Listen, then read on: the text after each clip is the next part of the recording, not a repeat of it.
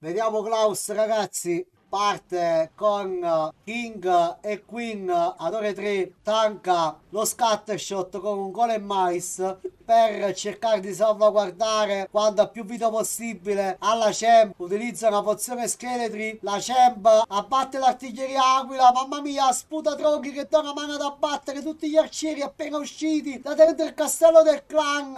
Forse la sputa tronchi riuscirà. Con gli all'interno a portare a casa anche mamma mia quella inferno centrale. Buono l'utilizzo ragazzi buono il plan nel portarsi doppia veleno. Dai dai dai mamma mia va con la Lalo direzione Togol gela due volte il Togol così da far avvicinare quanto più possibile le mongolfiere. Così grazie a furia e abilità del Warden ce la faranno. Mamma mia ecco qua. Adesso tutto può accadere. Tutte le mongolfiere rimangono bloccate con la trappola tornado sotto la veleno del Togol ottimo ottima hit da parte di Klaus. Davvero complimenti a Klaus.